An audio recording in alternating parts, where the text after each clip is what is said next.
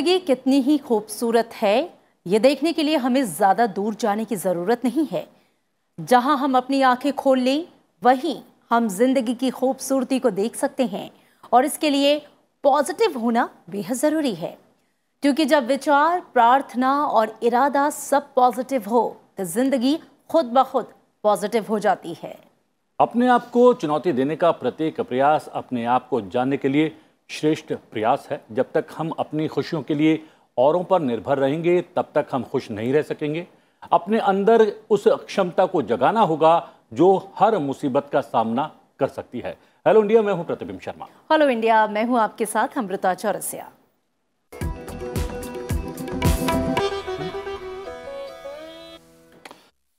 सबसे पहले जानते हैं हेलो इंडिया में क्या है खास। हेलो इंडिया हाइलाइट्स के ज़रिए। जी हाँ सबसे पहले हम नज़र डालेंगे आज की बड़ी खबरों पर। बताएँगे आपको राष्ट्रीय अंतर्राष्ट्रीय और राज्यवार सुर्खियाँ। और आज की गतिविधियों पर भी डालेंगे नज़र। इसके अलावा पलटेंगे इतिहास के पन्नों को जानेंगे आज के दिन से जुड़ा इतिहास।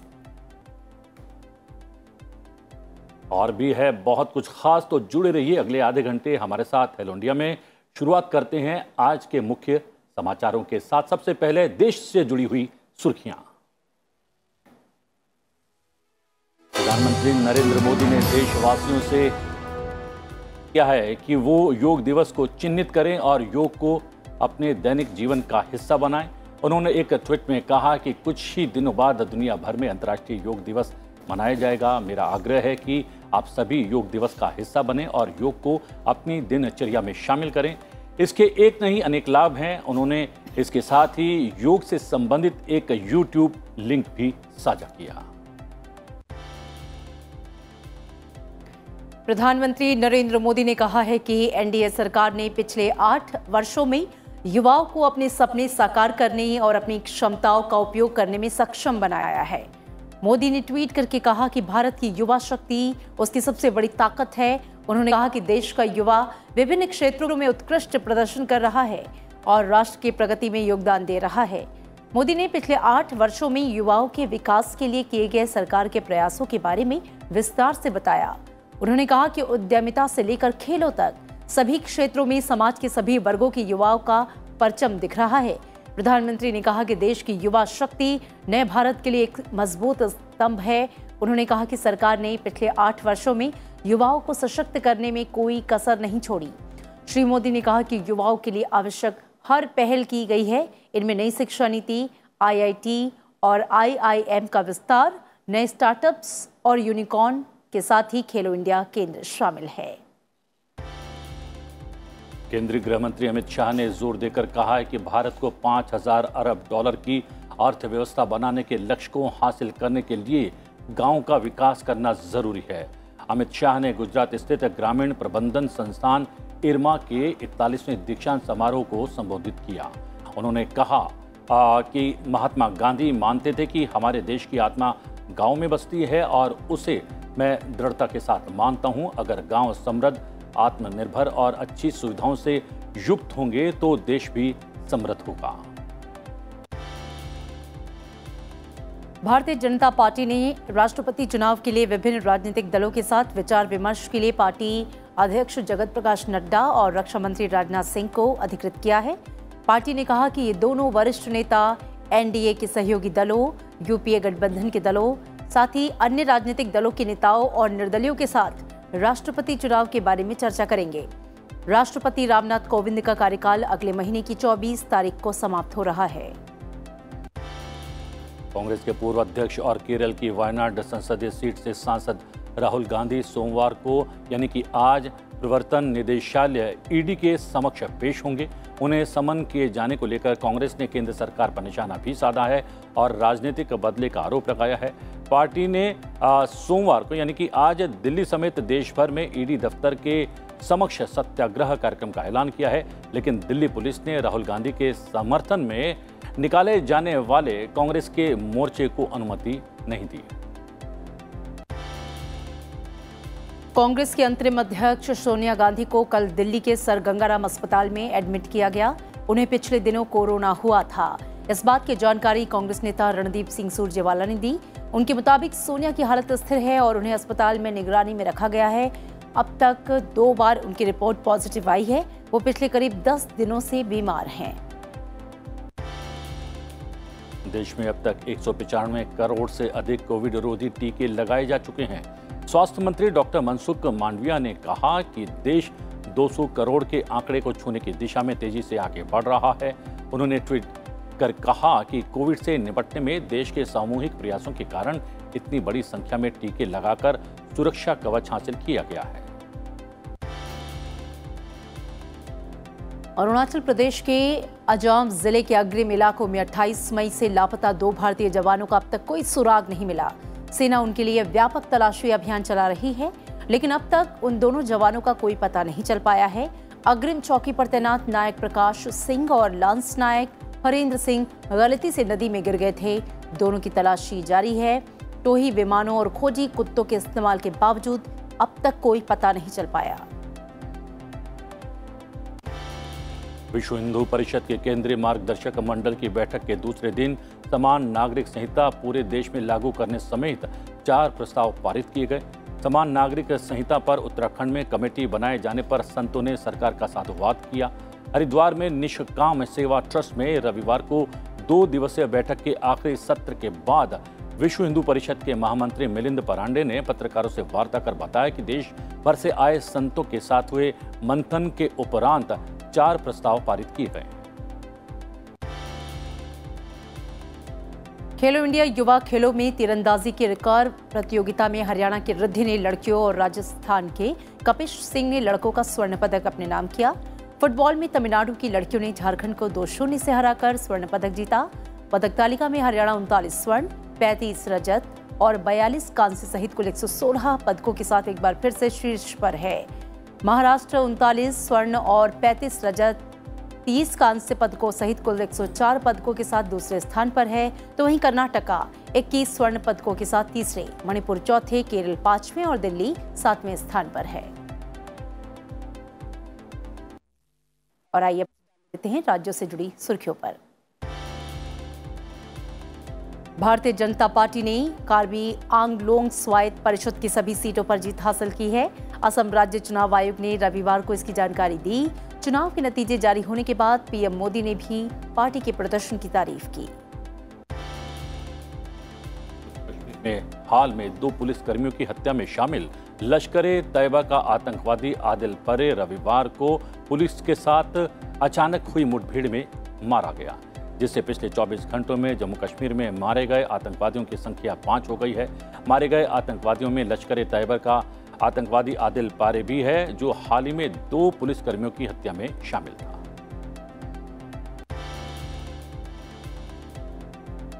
ओडिशा विधानसभा अध्यक्ष पद के लिए आज चुनाव कराया जाएगा। बीजू जनता दल के विधायक एस एन पात्रो ने 4 जून को विधानसभा अध्यक्ष के पद से इस्तीफा दे दिया था, जिसके बाद ये पद खाली हो गया। बीजू जनता दल के वरिष्ठ नेता और विधायक विक्रम केशरी अरुखा ने शुक्रवार को ओडिशा विधानसभा के अध्यक्ष के पद के लिए अपना नामांकन पत्र दाखिल किया है। दिल्ली के जामा मस्जिद के बाहर विरोध प्रदर्शन के मामले में पुलिस ने दो लोगों को गिरफ़्तार कर लिया है। इनकी पहचान जामा मस्जिद इलाके के निवासी मोहम्मद नदीम और तुर्कमान गेट इलाके के फहीम के रूप में हुई है।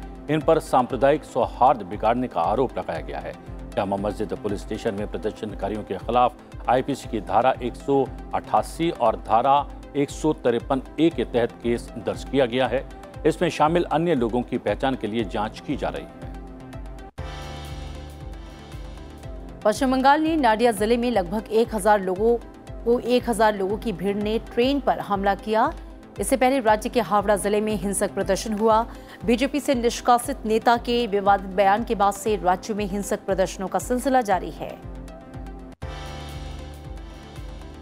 बिहार विधान परिषद में सात सीटों पर 20 जून को मतदान होने वाला है। इन सातों सीटों पर नामांकन 9 जून तक था और नामांकन पत्रों की जाँच 10 जून तक होनी थी, जबकि नाम वापसी की अंतिम तिथि 13 जूनी, जून यानी कि आज का दिन निर्धारित किया गया है। दिल्ली में पिछले 24 घंटे के दौरान कोरोना संक्रमण के 735 नए मरीजों का पता चला है और इन्हें मिलाकर राष्ट्रीय राजधानी में संक्रमितों की जो कुल संख्या है, वो बढ़कर उन्नीस लाख बारह हज़ार सात सौ अट्ठानवे हो गई है। पिछले 24 घंटे में पाँच सौ सैंतीस रोगी स्वस्थ हुए और कोरोना संक्रमण से तीन व्यक्तियों की मृत्यु हुई। वहीं दिल्ली में पिछले 24 घंटे में तीस पात्र लोगों को कोविड रोधी टीके लगाए गए। दिल्ली में अब तक तीन करोड़ चौवालीस लाख छियानवे हज़ार से अधिक लोगों को टीके लगाए जा चुके हैं। दक्षिण और पश्चिम में भले ही मानसून आ चुका है, लेकिन समूचा उत्तर भारत इस वक्त भयानक गर्मी की चपेट में है। दिन में झुलसा देने वाली धूप और उमस से भरी रातों ने लोगों का सुख चैन छीन लिया है। दिल्ली में इस साल गर्मी ने कुछ नए रिकॉर्ड भी बनाए हैं। दिल्ली में इस मौसम में अभी तक 25 दिन ऐसे रहे हैं, जब अधिकतम तापमान 42 डिग्री सेल्सियस या उससे ज़्यादा दर्ज किया गया है। दिल्ली में इस साल अप्रैल के महीने में बहत्तर सालों का रिकॉर्ड तोड़ा गया, जो उन्नीस सौ इक्यावन में बना था। और अब अंतर्राष्ट्रीय समाचार। रूस में ओमिक्रॉन का नया वेरिएंट सामने आया है। वैज्ञानिकों का दावा है कि ओमिक्रॉन का ये नया वेरिएंट पहले की तुलना में ज़्यादा खतरनाक है।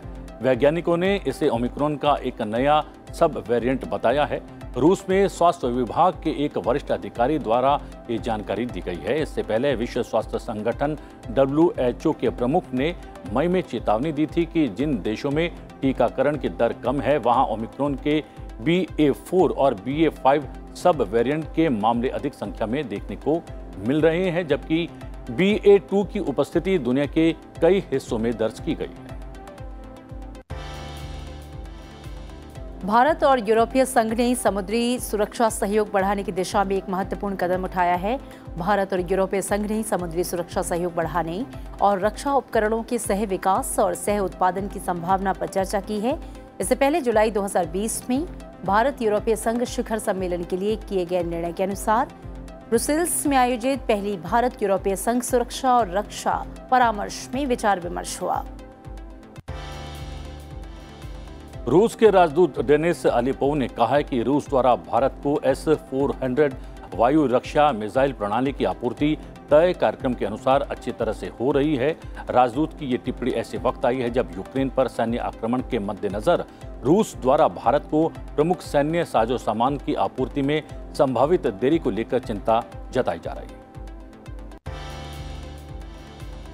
केंद्रीय वाणिज्य और उद्योग मंत्री पीयूष गोयल ने स्विट्जरलैंड के जुनेवा में बारहवें विश्व व्यापार संगठन मंत्री स्तरीय सम्मेलन में भारतीय प्रतिनिधिमंडल का नेतृत्व किया। पाँच साल के अंतराल के बाद ये बैठक स्विट्जरलैंड के जेनेवा में हुई, जहाँ स्विस शहर में बारहवीं विश्व व्यापार संगठन की मंत्री स्तरीय बैठक के मौके पर पीयूष गोयल ने डब्ल्यूटीओ के महानिदेशक नोगोजी ओंकोजो के साथ बातचीत की।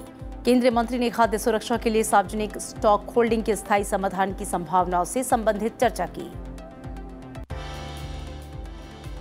श्रीलंका सरकार ने अब पेट्रोल डीजल के हफ़्ते भर के कोटे तय कर दिए हैं। इसके तहत अब पेट्रोल पंपों पर राशनिंग व्यवस्था लागू होगी। श्रीलंका सरकार की अगले महीने से ईंधन राशन योजना शुरू करने की भी योजना है। श्रीलंका के एक वरिष्ठ मंत्री ने रविवार को ये बात कही। अप्रैल की शुरुआत तक बिजली उत्पादन के लिए डीजल और फर्नेस ऑयल की कमी के कारण श्रीलंका रोज 10 घंटे की बिजली कटौती का सामना कर रहा है। थर्मल पावर जनरेशन के लिए डीजल आपूर्ति का दबाव आने के कारण श्रीलंका में फरवरी के मध्य से ईंधन की समस्या है। इसकी वजह से पेट्रोल पंपों पर लंबी कतारें लग रही हैं। रूस यूक्रेन युद्ध के दौरान रूस ने यूक्रेन को एक और नया झटका दिया है। रूस अब यूक्रेनी नागरिकों को अपना बना रहा है। रूस के कब्जे वाले शहरों में पुतिन की सेना पासपोर्ट बांट रही है। पश्चिमी देशों से लगातार हथियार की मांग कर रहे जेलेंस्की को रूस के इस कदम से बड़ा झटका लगा है। यूक्रेनी सेना ने रूस के इस कदम की निंदा करते हुए इसे अपनी क्षेत्रीय अखंडता का घोर उल्लंघन बताया और कहा कि पुतिन का ये फरमान कानूनी रूप से अमान्य है। चीन के रक्षा मंत्री जनरल वेई फेंग ने कहा कि चीन, भारत, पड़ोसी हैं और आपस में अच्छे संबंध बनाए रखना दोनों देशों के हितों को पूरा करता है। दोनों देश वास्तविक नियंत्रण रेखा यानी एलएसी पर शांति के लिए मिलकर काम कर रहे हैं। चांगरी लॉ डायलॉग को संबोधित करते हुए चीनी रक्षा मंत्री ने दक्षिण चीन सागर सहित क्षेत्रीय विवादों को सुलझाने के लिए शांतिपूर्ण तरीकों का भी आह्वान किया। और तलब है कि भारत और चीन ने चीन के सैनिकों के बीच पूर्वी लद्दाख में मई 2020 से तनावपूर्ण सीमाई गतिरोध है, जब पेंगोंग झील क्षेत्र में दोनों पक्षों के बीच हिंसक झड़प शुरू हुई थी। चीन, भारत के सीमावर्ती क्षेत्र में पुलों और सड़कों और आवासीय इकाइयों जैसे अन्य बुनियादी ढांचे का निर्माण भी लगातार कर रहा है। नज़र आज की गतिविधियों पर। राम राष्ट्रपति रामनाथ कोविंद आज से कर्नाटक और गोवा की तीन दिवसीय यात्रा पर रहेंगे। वो आज बेंगलुरु के राष्ट्रीय सैन्य स्कूल के प्लेनेटम प्लेटिनम जुबली समारोह में शामिल होंगे और प्रधानमंत्री और राष्ट्रपति मंगलवार को बेंगलुरु में बैकुंठ हिल, वसंतपुरा स्थित श्री राजाधिराज गोविंदा मंदिर के लोकार्पण समारोह में शामिल होंगे। राष्ट्रपति बुधवार को गोवा के नए राजभवन की आधारशिला भी रखने वाले हैं। उपराष्ट्रपति आज दोपहर ग्यारह बजे प्रधानमंत्री संग्रहालय का दौरा करने वाले हैं।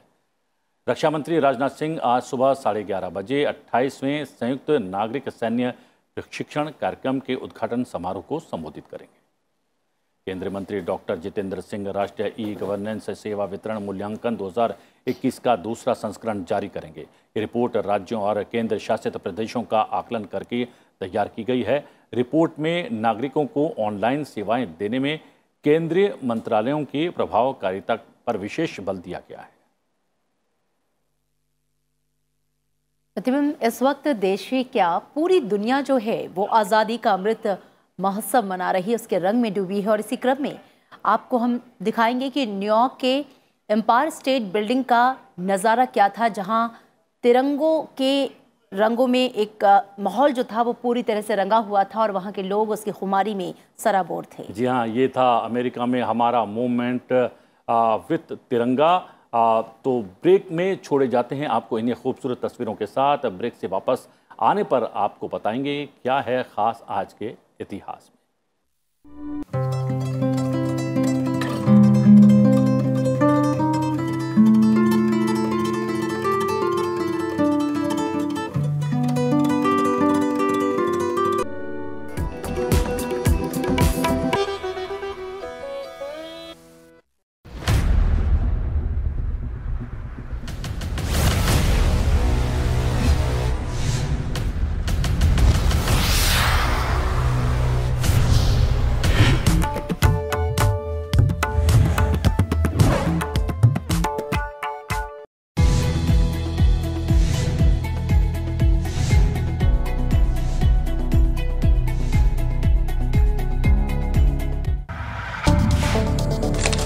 मसले जो जुड़े हैं आपसे।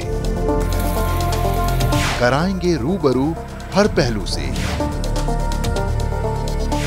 करेंगे गहराई से पड़ताल। लेंगे विशेषज्ञों की राय। क्योंकि ये है मुद्दा आपका, सिर्फ़ संसद टीवी पर। आज़ादी का अमृत महोत्सव में इस हफ़्ते हम आपको बताएँगे कि आइकॉनिक वीक सेलिब्रेशन में क्या रहा खास।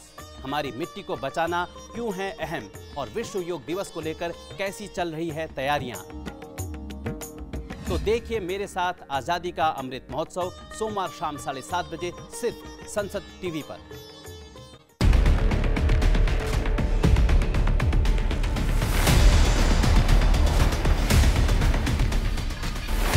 Nature and You, the Environment Series.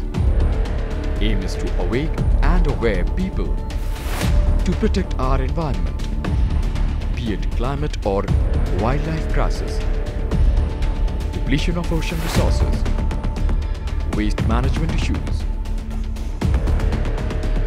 Only on Sunset TV.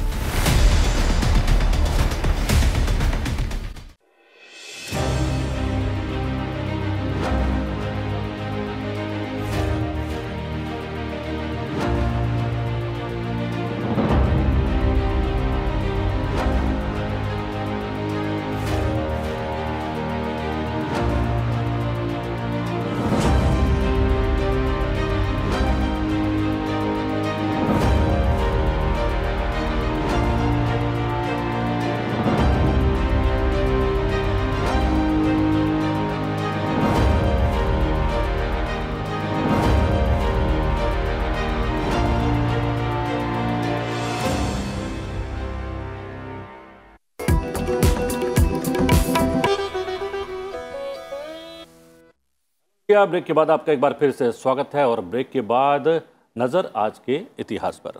जी हाँ जानते हैं कि आज यानी कि तेरह जून को इतिहास के पन्नों में क्या खास है दर्ज?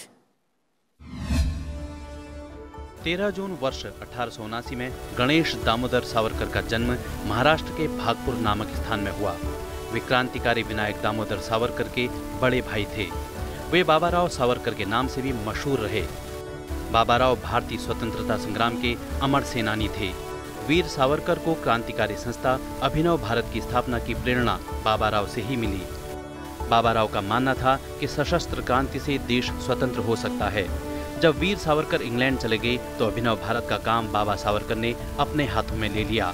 ब्रिटिश सरकार के विरुद्ध चल रहे संग्राम में सहभागिता के कारण बाबा राव पर मुकदमा चलाया गया, जिसके तहत जून 1909 को उन्हें काले पानी की सजा सुनाई गई।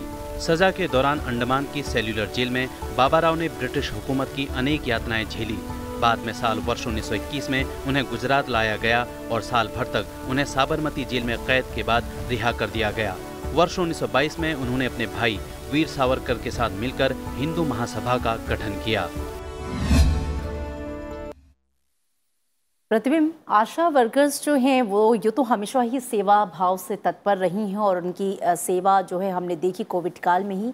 और कोविड काल में ये लोगों के लिए एक आशा की किरण बन गई और सेवा समर्पण की इस भावना को पहचान कर डब्ल्यू ने 10 लाख भारतीय आशा वर्कर्स को हाल ही में सम्मानित किया है। जी हाँ ये एक भारत के लिए बड़ी उपलब्धि है और ये भी दर्शाती है कि अगर आप समर्पण के साथ सेवा भाव के साथ लोगों की सेवा करते हैं उसमें तत्पर रहते हैं तो आपकी उस सेवा को पहचान मिलती है और आपको सम्मानित किया जाता है। देखने खास खबर। कोरोना काल में किए गए आशा वर्कर्स के प्रयासों को देखते हुए विश्व स्वास्थ्य संगठन ने देश की 10 लाख आशा कार्यकर्ताओं को ग्लोबल हेल्थ लीडर अवार्ड से नवाजा है। संगठन ने दुनिया में कुल छह पुरस्कारों की घोषणा की। इनमें से global health leader award ASHA कार्यकर्ताओं को दिया गया है। आशा वर्कर्स को यह अवार्ड ऐसे ही नहीं दिया गया। भारत के ग्रामीण क्षेत्रों में कोने कोने तक स्वास्थ्य सुविधाओं को पहुँचाने में आशा वर्कर्स का अहम योगदान रहा है।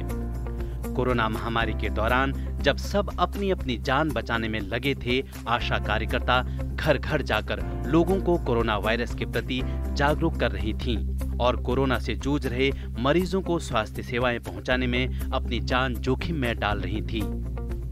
आशा वर्कर्स के इस संकल्प और समर्पण को देखते हुए विश्व स्वास्थ्य संगठन ने 10 लाख महिला आशा कार्यकर्ताओं को ग्लोबल हेल्थ लीडर्स अवार्ड से सम्मानित किया है कोरोना महामारी ही नहीं, आशा कार्यकर्ता बच्चों में होने वाली बीमारियों को रोकने के लिए टीकाकरण, मातृ देखभाल में भी सतत काम करती रहती हैं। यही नहीं, आशा कार्यकर्ता ने सामुदायिक स्वास्थ्य देखभाल, तपेदिक के उपचार, पोषण और स्वच्छता के क्षेत्र में भी महत्वपूर्ण भूमिका निभाई है।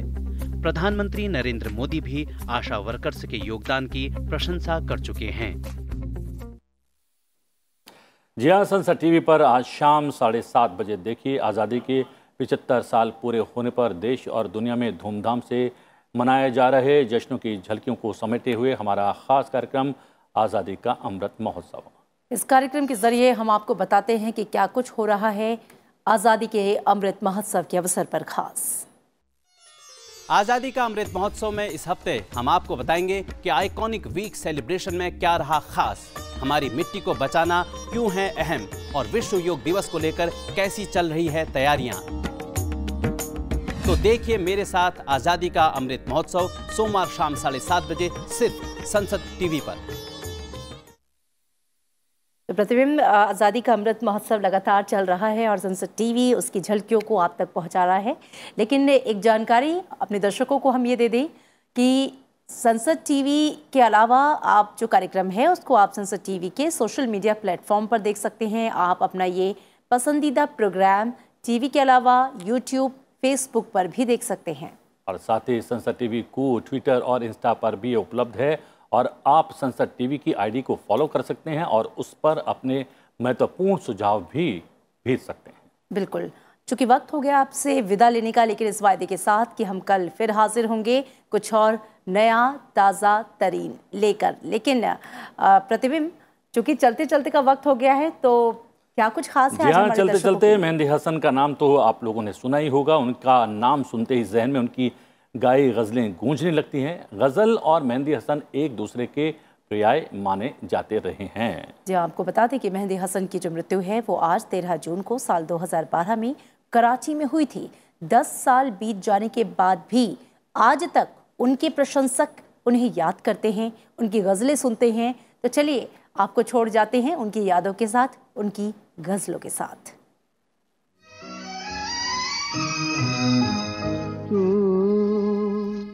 मेरी ज़िंदगी है। तू मेरी हर खुशी है। तू ही प्यार, तू ही चाहत, तू ही बंदगी है। रंजिशे सही, दिल ही दुखाने के लिए यार